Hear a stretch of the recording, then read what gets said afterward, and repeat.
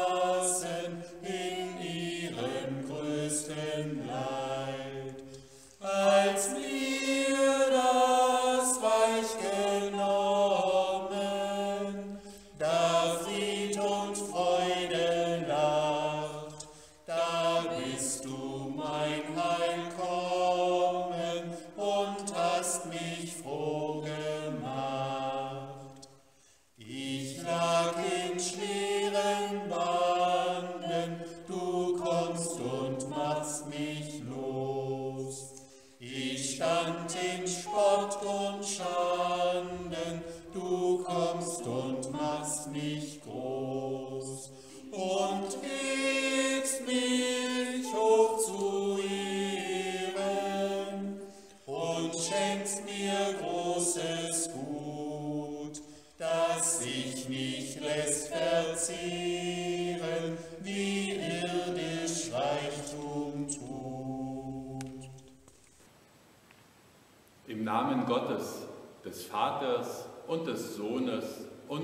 Heiligen Geistes. Amen. Wir feiern Gottesdienst am Palmsonntag. Palmsonntag, Jesus zieht in Jerusalem ein. Palmsonntag, das ist der Tag des strahlenden Jubels. Alle jubeln ihm zu. Palmsonntag, das ist aber auch der Tag, an dem die Stimmung umschlägt. Kann man sich darauf verlassen, wenn Leute einem zujubeln? Und können sich andere auf uns verlassen? Sei mir nahe, denn mir ist Angst. Psalm 69. Gott, hilf mir, denn das Wasser geht mir bis an die Kehle. Ich versinke in tiefem Schlamm, wo kein Grund ist. Ich bin in tiefe Wasser geraten und die Flut will mich ersäufen. Ich habe mich müde geschrien, mein Hals ist heiser. Meine Augen sind trübe geworden, weil ich so lange harren muss auf meinen Gott. Ich aber bete zu dir, Herr, zur Zeit der Gnade. Gott, nach deiner großen Güte erhöre mich mit deiner treuen Hilfe. Errette mich aus dem Schlamm, dass ich nicht versinke. Dass ich errettet werde vor denen, die mich hassen und aus dem tiefen Wasser. Dass mich die Flut nicht ersäufe und die Tiefe nicht verschlinge und das Loch des Brunnens sich nicht über mir schließe. Erhöre mich, Herr, denn deine Güte ist tröstlich.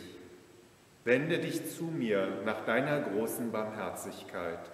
Und verbirg dein Angesicht nicht vor deinem Knechte, denn mir ist Angst. Erhöre mich eilends.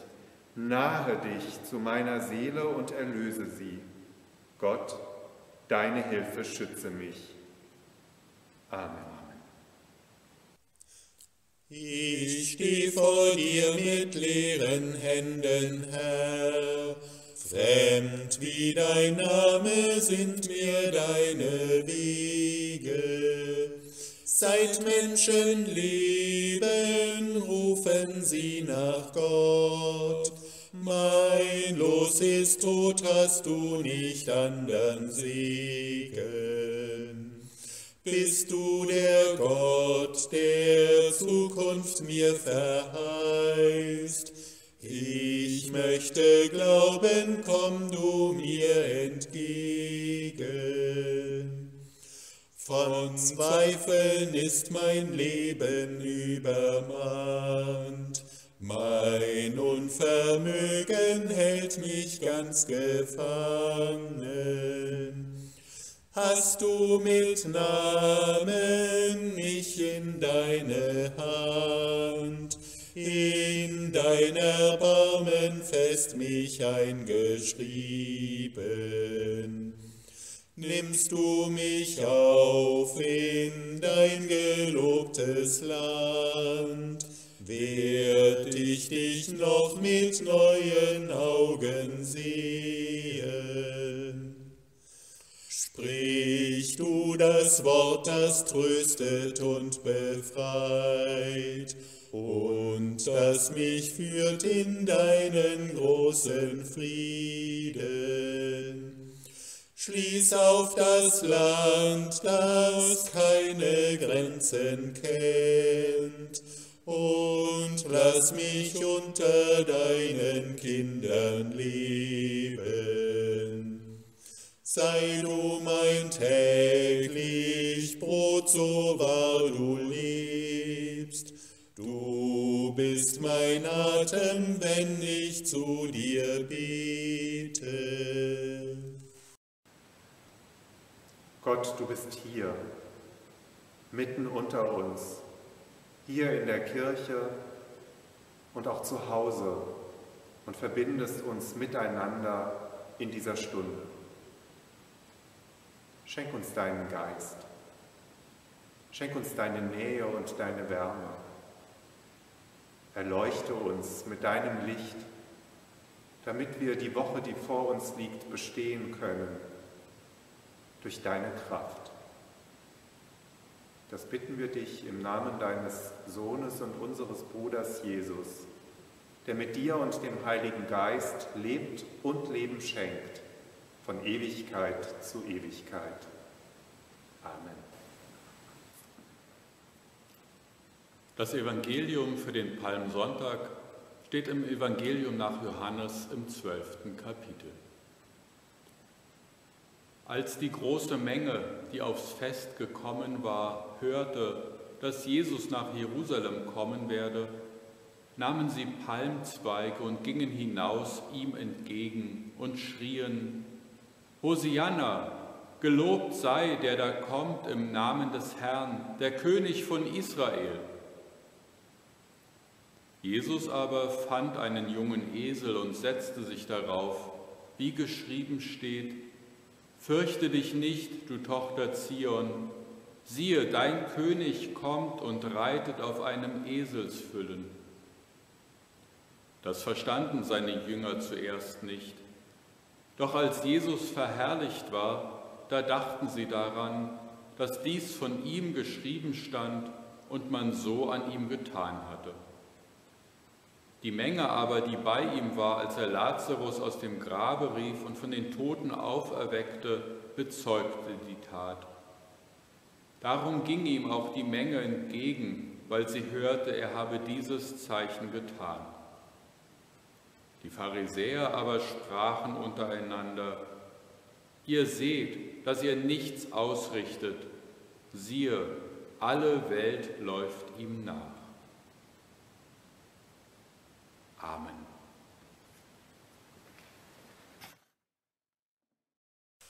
Wir gehen hinauf nach Jerusalem in leidenden Liebezeiten und sehen, wie einer für alle stirbt, um uns einen Platz zu bereiten. Wir gehen hinauf nach Jerusalem, wer will bei dem Herrn bleiben und kosten von einem so bittern Kelch, die Angst soll uns nicht von ihm treiben. Wir gehen hinauf nach Jerusalem, das Opfer der Welt zu sehen, zu spüren, wie unsere Not vergeht und unter dem Kreuze zu stehen. Wir gehen hinauf nach Jerusalem, zur Stätte der ewigen Klarheit, wo Leiden und Ohnmacht in unserer Welt, da finden wir Christus in Wahrheit. Der Predigtext steht im Evangelium nach Markus im 14. Kapitel. Es waren noch zwei Tage bis zum Passafest und den Tagen der ungesäuerten Brote. Und die hohen Priester und Schriftgelehrten suchten, wie sie Jesus mit List ergreifen und töten könnten. Denn sie sprachen, ja nicht bei dem Fest, damit es nicht einen Aufruhr im Volke gebe. Als Jesus in Bethanien war, im Hause Simons des Aussätzigen, und saß zu Tisch, da kam eine Frau, die hatte ein Alabastergefäß mit unverfälschtem, kostbaren Nardenöl. Und sie zerbrach das Gefäß und goss das Öl auf sein Haupt. Da wurden einige unwillig und sprachen untereinander, was soll diese Vergeudung des Salböls? Man hätte dieses Öl für mehr als 300 Silbergroschen verkaufen können und das Geld den Armen geben. Und sie fuhren sie an. Jesus aber sprach, lasst sie, was bekümmert ihr sie? Sie hat ein gutes Werk an mir getan, denn ihr habt alle Zeit Arme bei euch, und wenn ihr wollt, könnt ihr ihnen Gutes tun, mich aber habt ihr nicht alle Zeit. Sie hat getan, was sie konnte, sie hat meinen Leib im Voraus gesalbt zu meinem Begräbnis. Wahrlich, ich sage euch, wo das Evangelium gepredigt wird in der ganzen Welt, da wird man auch das sagen zu ihrem Gedächtnis, was sie getan hat. Amen. Der Friede Gottes sei mit uns allen. Amen. Liebe Gemeinde, sie hat meinen Leib im Voraus gesalbt zu meinem Begräbnis. Bei diesem Satz Jesu stockt mir der Atem, denn meistens vermeiden wir solche Sätze. Wenn ein kranker Mensch sagt, wenn ich mal sterben werde, dann bemühen sich meistens alle, die um ihn herum sind und sagen, ach nein, doch nicht, du wirst wieder gesund, es wird schon wieder werden. Wer von uns traut sich wirklich dieser Drohung des Todes so ins Auge zu sehen. Jesus macht es. Jesus redet von seinem bevorstehenden Tod, von seinem bevorstehenden Begräbnis. Und er macht es in einer sehr sachlichen Form. Dahinter steckt, dass er zwar Angst hat, aber auch Hoffnung hat dass er Angst hat vor dem, was vor ihm liegt, dass er sagen wird ein paar Tage später, lass diesen Kelch an mir vorübergehen, wenn es sein darf, dass er aber gleichzeitig sein Schicksal annimmt. Es kann für uns eine Ermutigung sein. Wie reden wir über uns, über unser Leben, über unsere Zukunft? Ja, eines Tages werden auch wir sterben. Und Jesus lebt es uns vor, wie wir mit unserer irdischen Begrenztheit im Vertrauen auf Gottes Beistand leben können.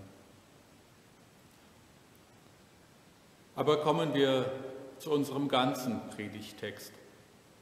Es spielt im Hause Simons des Aussätzigen. Schon da ist eine große Brisanz, eine große Dramatik. Ein Aussätziger, das ist doch jemand, zu dem man nicht hingeht, der aus der Gesellschaft, aus der Gemeinschaft herausgestoßen ist, warum auch immer.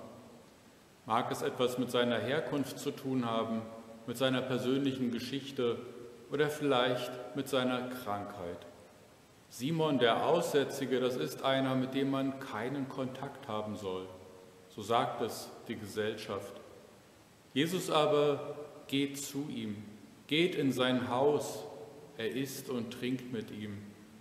Er überschreitet Grenzen, die wir Menschen aufbauen, um uns voneinander zu trennen. Doch das, was dann passiert, dort im Hause Simons. Eine Frau kommt und salbt Jesus, so wie man einen König salbt. Die Menschen regen sich auf. Zum einen natürlich, es ist eine Grenzüberschreitung, eine fremde Frau, die hereinkommt und die dann so einen symbolischen Akt macht. Etwas, was man wirklich nur mit dem König, mit einem Propheten tun würde. Aber die Menschen regen sich über ganz anderes auf. Dieses Öl ist kostbar und teuer. Was hätte man nicht alles mit diesem Geld tun können? Auch solche Auseinandersetzungen kennen wir. Wie ist das? Dürfen wir unser Kirchendach neu decken oder sollen wir das Geld den Armen geben? Und wenn ja, wem geben wir es? Geben wir es für Brot für die Welt? Geben wir es für eine Obdachloseneinrichtung? Geben wir es, damit arme Kinder zur Schule gehen können? Wir könnten so viel machen und egal wie wir uns entscheiden, es ist eine unvollkommene Entscheidung, eine weltliche Entscheidung.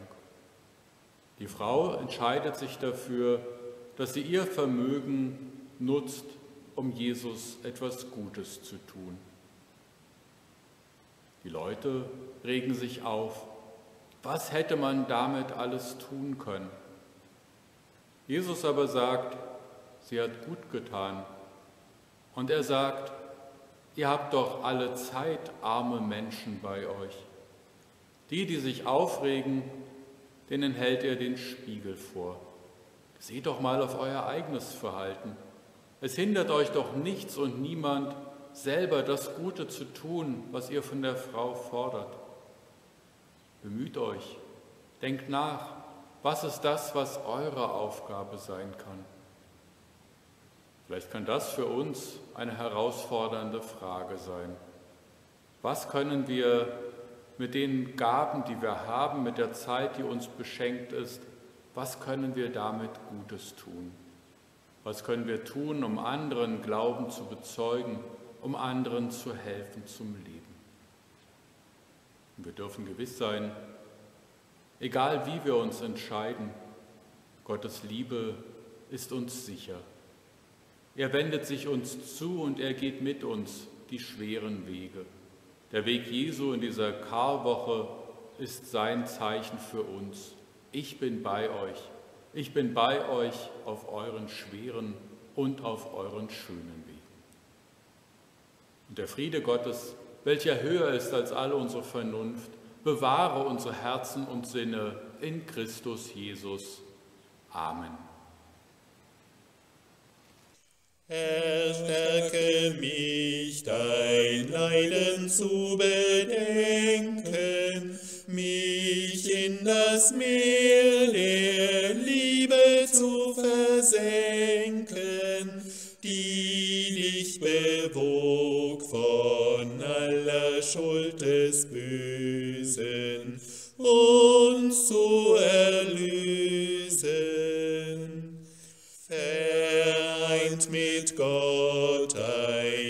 Mensch gleich uns auf Erden und bis zum Tod am Kreuz gehorsam werden, an unserer Stadt gemartert und zerschlagen,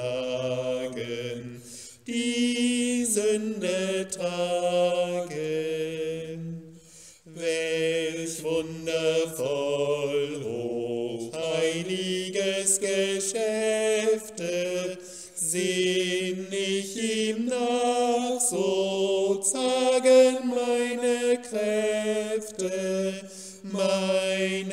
Herz ich seh und ich empfinde den Fluch der Sünde. Gott ist gerecht, ein Rächer alles Bösen. Gott ist die Liebe und lässt die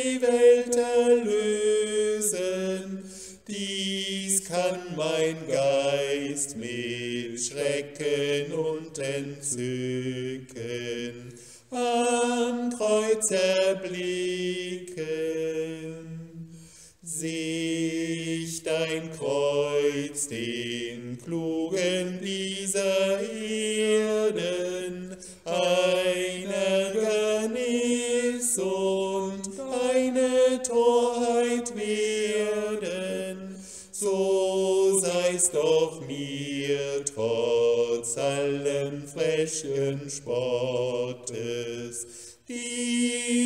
Weisheit Gottes. Es schlägt den Stolz und mein Verdienst nieder. Es stürzt mich tief und es erhebt mich wieder. Lehrt mich mein Glück, macht mich aus Gottes Feinde zu Gottes Freunde. Wir halten miteinander Fürbitte und wieder nehmen wir Bitten auf, die uns erreicht haben.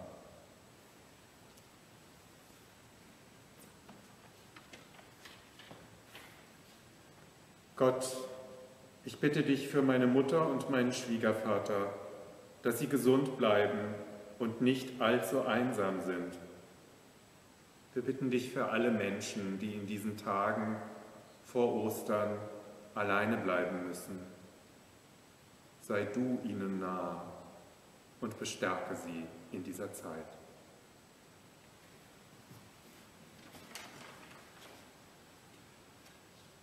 Lieber Gott, ich bitte dich um Gesundheit an Körper und Seele. Bitte zeige mir den Weg, der für mich geeignet ist, meine Fähigkeiten zu entwickeln. Wir bitten dich, Gott, dass du uns zeigst, welchen Weg du uns führen willst, was unsere Aufgaben sind.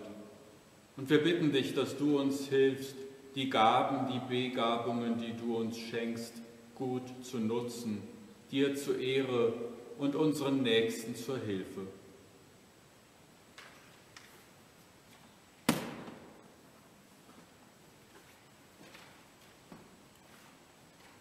Gott, ich bitte dich um Gesundheit für unsere Familie und für die Gemeindeglieder.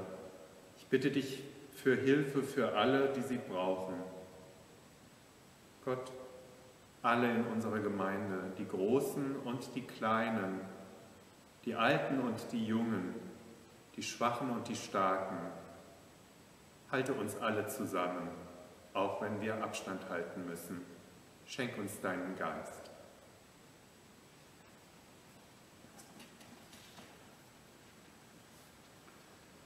Lieber Gott, hilf du uns, die Wahrheit zu erkennen und Mut zu fassen.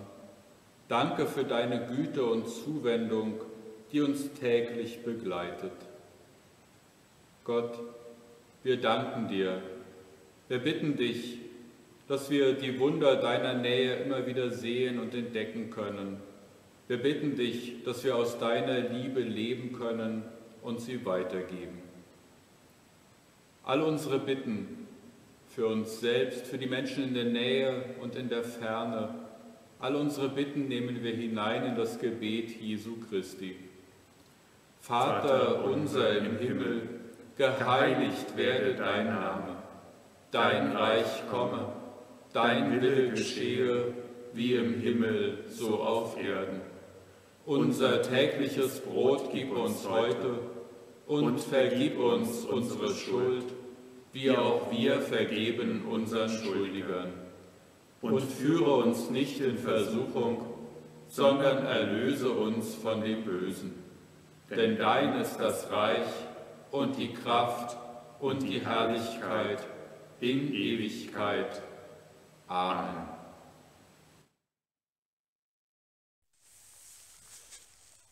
Gib Frieden, Herr, gib Frieden, die Welt nimmt schlimmen Lauf. Recht wird durch Macht entschieden, wer lügt, liegt oben auf. Das Unrecht geht im Schwange, wer stark ist, der gewinnt. Wir rufen, Herr, wie lange, hilf uns, die friedlos sind. Gib Frieden, Herr, wir beten, die Erde wartet sehr. Es wird so viel gelitten, die Furcht wächst mehr und mehr. Die Horizonte grollen, der Glaube spinnt sich ein. Hilf, wenn wir weichen wollen, und lass uns nicht allein. Gib Frieden, Herr, wir beten, du selbst bist, was uns fehlt. Du hast für uns gelitten, hast unseren Streit erwählt damit wir leben könnten in Ängsten und doch frei und jedem Freude gönnten, wie Feind er uns auch sei. und so geht im Frieden des Herrn. Der Herr segne dich und behüte dich. Der Herr lasse sein Angesicht leuchten über dir und sei dir gnädig. Der Herr erhebe sein Angesicht auf dich, er schenke dir Frieden. Amen.